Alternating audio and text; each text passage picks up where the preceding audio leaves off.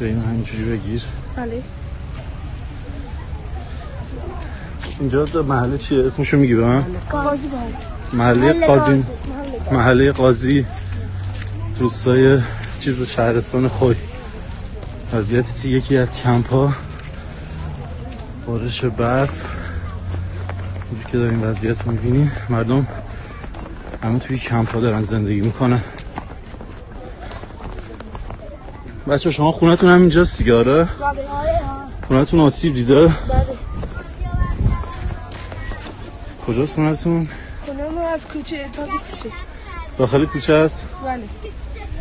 چقدر خونتون آسیب دیده؟ از یعنی ترک خورده یا مثلا تخریبه؟ این خیلی برف شدیده. مردم دارن تو این وضعیت زندگی می‌کنن.